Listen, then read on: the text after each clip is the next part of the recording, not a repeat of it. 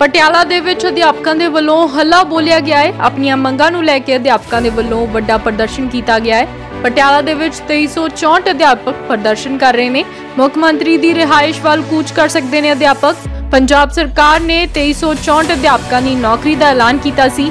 ਪਰੰਤੂ ਅਧਿਆਪਕਾਂ ਦਾ ਕਹਿਣਾ ਹੈ ਕਿ ਉਹਨਾਂ ਨੂੰ ਹਜੇ ਤੱਕ ਨਿਯੁਕਤੀ ਪੱਤਰ ਨਹੀਂ ਮਿਲੇ ਨੇ। ਇੱਕ ਵਾਰ ਫਿਰ ਦੱਸਦੀ ਕਿ ਪਟਿਆਲਾ ਦੇ ਵਿੱਚ ਆਪਣੀਆਂ ਮੰਗਾਂ ਨੂੰ ਲੈ ਕੇ ਅਧਿਆਪਕਾਂ ਦੇ ਵੱਲੋਂ ਵੱਡਾ ਪ੍ਰਦਰਸ਼ਨ ਕੀਤਾ ਜਾ ਰਿਹਾ ਹੈ।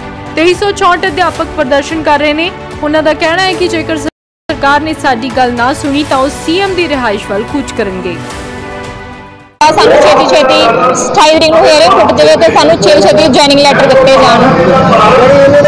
ਸਰ, ਸਾਡੀ 2364 ਸਿਲੈਕਟਡ ਯੂਨੀਅਨ ਅੱਜ ਦੀ ਦਾ ਸੰਘਰਸ਼ ਸਰ ਇਹੀ ਹੈ ਵੀ ਅਸੀਂ ਮੋਤੀ ਮਹਿਲ ਦਾ ਘਰਾਓ ਕਰਾਂਗੇ, ਹਰੇਕ ਹਰੇਕ ਵਾਰ ਸਰਕਾਰ ਸਾਨੂੰ ਝੂਠੀਆਂ ਮੀਟਿੰਗਾਂ ਲਾ ਦਿੰਦੀ ਹੈ ਪਰ ਅਸੀਂ ਐਤਕੀ ਮੀਟਿੰਗ ਨਹੀਂ ਲੈਣੀ ਹੈਗੀ। ਸਰਕਾਰ ਤੋਂ ਪੱਕਾ ਕੋਈ ਹੱਲ ਚਾਹੁੰਦੇ ਆ ਵੀ ਸਾਡੇ 28 ਨੂੰ ਸਾਡੀ ਸਟੇਟ ਉੱਠ ਜਾਵੇ ਤੇ ਸਾਨੂੰ ਛੇਤੀ ਛੇਤੀ ਜੁਆਇਨਿੰਗ ਲੈਟਰ ਮਿਲ ਜਾਣ